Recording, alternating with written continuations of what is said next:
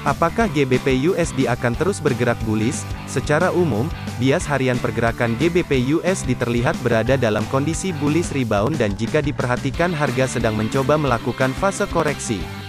Jika pergerakan GBP USD bergerak ke bawah dan tertahan di sekitar area kritis pada kisaran 1,32405 sampai 1,32197 juga indikator ADX bergerak ke atas maka ada potensi harga akan menyentuh area 1.32983. Sebaliknya waspadai jika harga GBP USD terus bergerak ke bawah dan menembus level 1.32197 maka ada potensi harga akan berbalik arah dengan bergerak bearish ke bawah menuju level berikutnya pada kisaran 1.31895.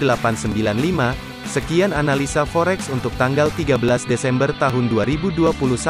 Untuk konsultasi gratis mengenai posisi trading forex Anda, silakan hubungi 081212 983 101.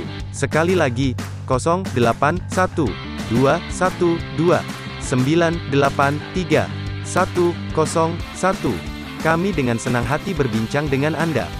Untuk mendapatkan analisa forex setiap hari, silakan subscribe ke channel ini. Sampai jumpa di video berikutnya.